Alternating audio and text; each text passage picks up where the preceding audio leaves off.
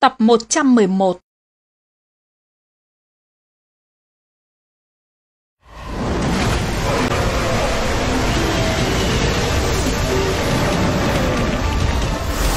Thắng lợi. Thuộc về sở lai khác. Sở lai khác.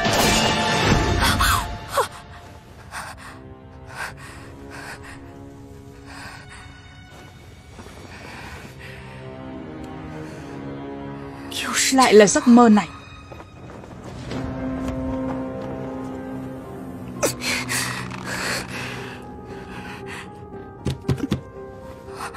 Nana. Hôm nay tới tử vong sơn tu luyện. Mới chuẩn bị xong chưa? Tử vong sơn sao?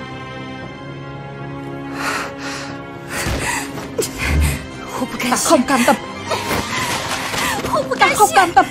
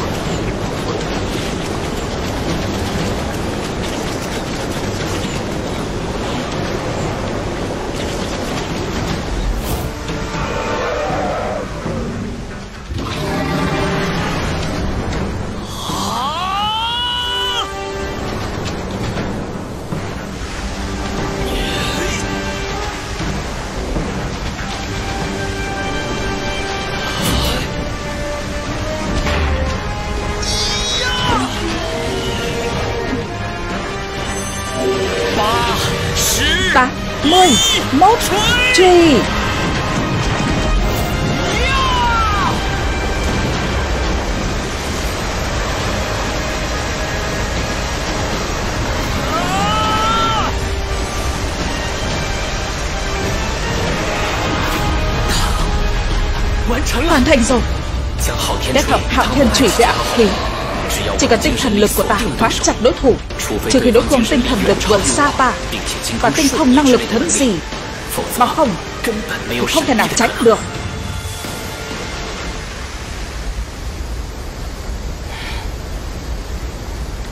Vài tháng trước, vì để giúp tiểu tam tu luyện hạo thiên trùy ta đã phong ấn và không cho nó thêm phụ trợ vào hồn hoạt tiểu tam tu luyện hạo thiên trùy đến mức này. Hồn lực của con đã đạt đến 52 cấp. Từ sau khi con đạt được 52 cấp tốc độ tăng hồn lực càng ngày càng chậm. Tu luyện hạo thiên trì cũng ngày càng khó tiến bộ hơn từ 50 cấp đến 60 cấp là một đoạn đường khó khăn. Lúc đầu ta mất thời gian 5 năm mới có thể hoàn thành. Còn mục tiêu của con là 4 năm. Đây là lần đầu tiên cha công nhận mình sao Cha, loạn phi phong truy pháp tu luyện đến đây Tiểu ta. Con cảm thấy năng lực chiến đấu của con thế nào? Vẫn còn kém xa. Con biết kém ở đâu không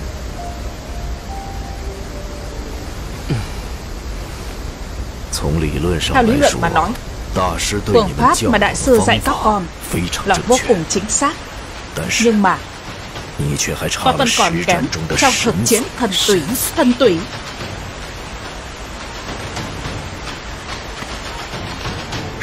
Sát khí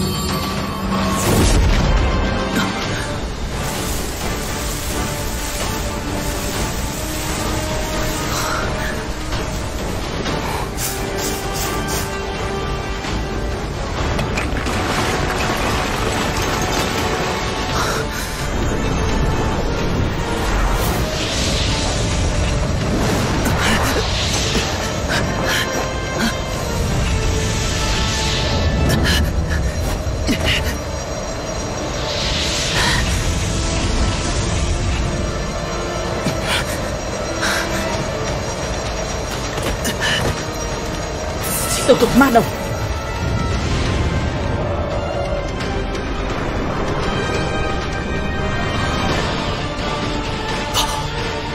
Sát khí thực thể hóa Sư phụ từng nói với ta Chỉ có khi thực lực của một người đạt tới cảnh giới cực kỳ khủng khiếp Mới có thể làm được như thế.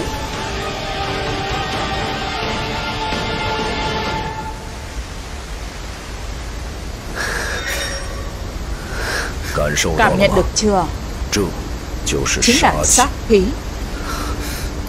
Nó có thể giúp con phát huy ra thực lực lớn nhất của mình。Cho dù phải đối mặt với đối thủ mạnh hơn bản thân Con cũng sẽ không có chút sợ sệt。Sát khí Chỗ đáng sợ nhất Không phải ở bản thân Mà là Tất cả những người có được sát khí。đều từng trải qua vô số lần cận kể cái chết một người không sợ cái chết càng không sợ đối thủ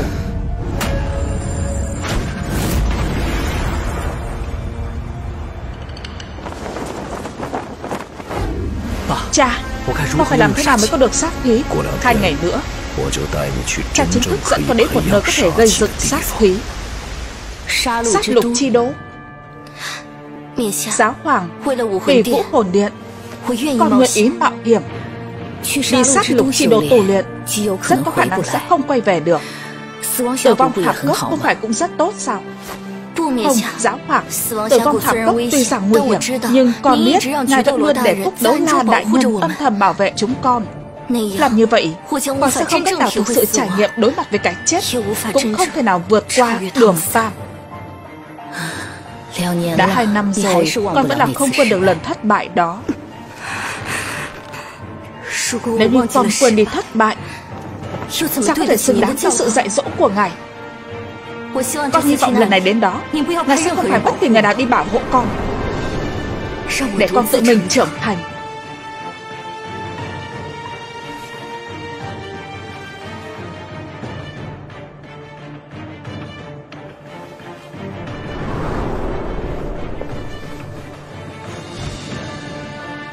Được. Ta đồng ý để con đi Bất luận là ở vị trí giáo hoàng Vũ Hồn Điện Hay là làm sư phụ của con Ta đều hy vọng Con có thể sống sót trở về Sư phụ con đã rõ. Sau khi hấp thụ nó rồi mới đi. Sư phụ, cái này thực sự quá chân quý. Đồ vật chân quý cũng phải sử dụng mới có thể thể hiện ra giá trị của nó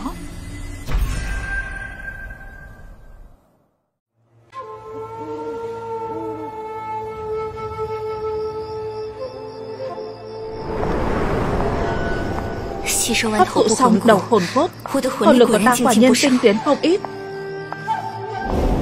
Nếu như con một mình gặp phải đường tam Không thể đồng thủ với hắn. Người này ta sớm muộn cũng sẽ giải quyết. Cũng giống như phụ thân hắn. Không thể để đường hạo mối khoản lớn trong lòng này giải quyết. Kế hoạch của chúng ta tất sẽ gặp phải phiền phức. Vâng sư phụ. Đường tam Sỉ nhục mà người ban cho ta. Ta nhất định phải dùng máu của ngươi để trả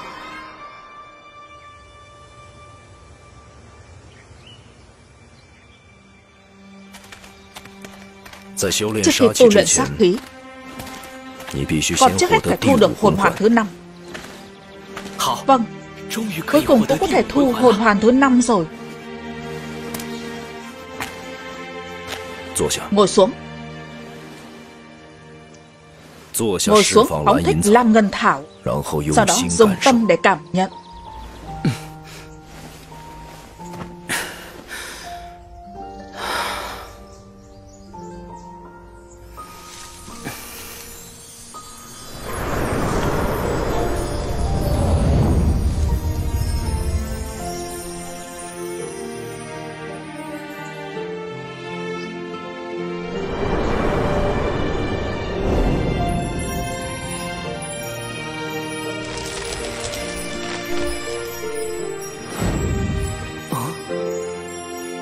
Loại cảm giác này rất quen thuộc.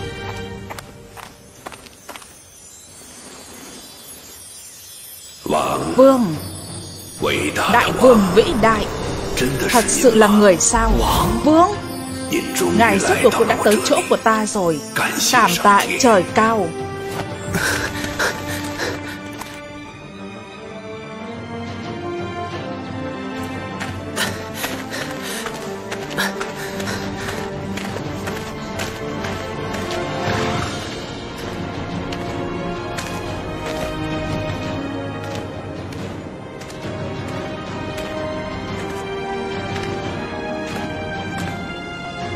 Là Là người đang gọi ta.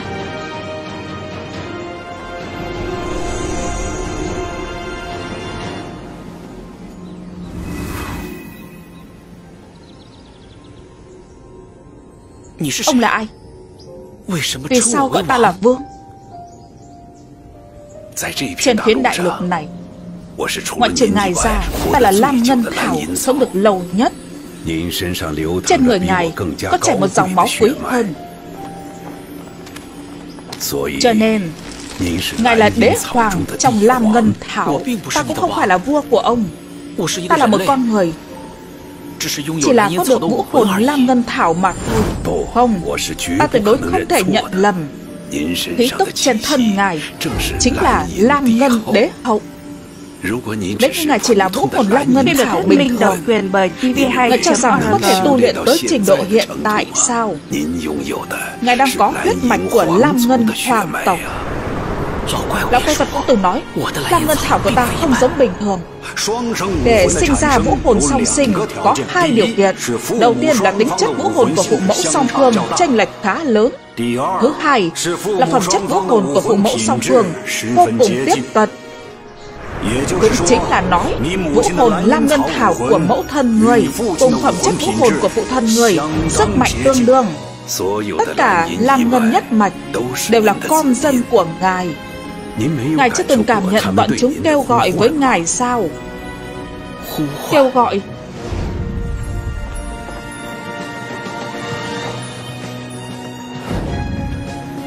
Lam Ngân Hoàng trên thế giới này vĩnh viễn là nhất mạch kế thừa Chỉ là đời trước của Lam Ngân Hoàng đã qua đời Đời sau của Lam Ngân Hoàng mới có thể xuất hiện. Cho dù Ngài có là con người Nhưng mà Ngài là người duy nhất hiện giờ Chảy huyết mạch của Lam Ngân Hoàng Nhưng ta vẫn cho là Thực lực mà ta bây giờ có được đều là bắt nguồn từ phương pháp tu luyện đặc thù của ta. Đây là lỗi của chúng ta, bởi vì huyết mạch Lam Ngân Hoàng tộc của ngài vẫn chưa chính thức thức tỉnh. Vũ hồn của ta đã thức tỉnh qua một lần, lẽ nào còn có thể thức tỉnh lần thứ hai? Đại vương vĩ đại, người bình thường sao có thể thức tỉnh huyết mạch cao quý của ngài được chứ? Là thuộc hạ trung thành của ngài. Chúng ta mãi mãi đều sẽ bảo vệ cho ngài. Ngài. Nguyện ý vĩnh viễn che chở cho thần dân của mình không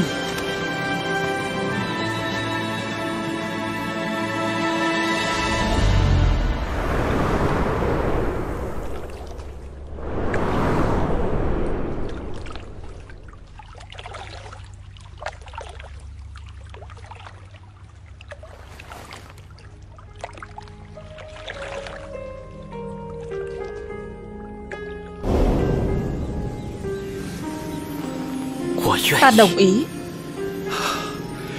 Cũng sắp 20 năm chưa từng cảm nhận khí tức của đế vương rồi.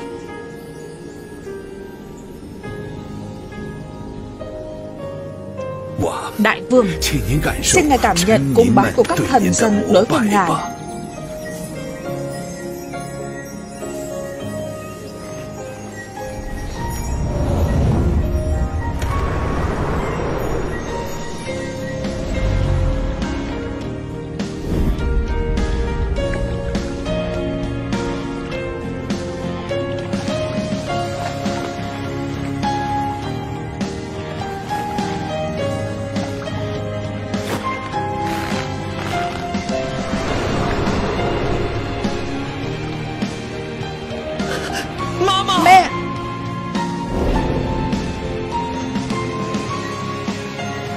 Mẹ ơi. Đại vương vĩ đại. Nguyện ngài trên trời có linh thiêng. Xin hãy yên nghỉ.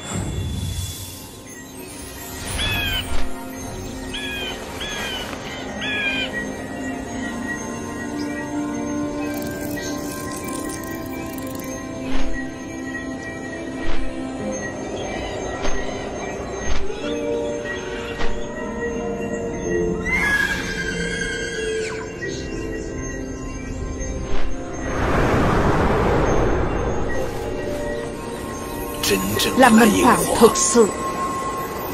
Cuối cùng đã thức tỉnh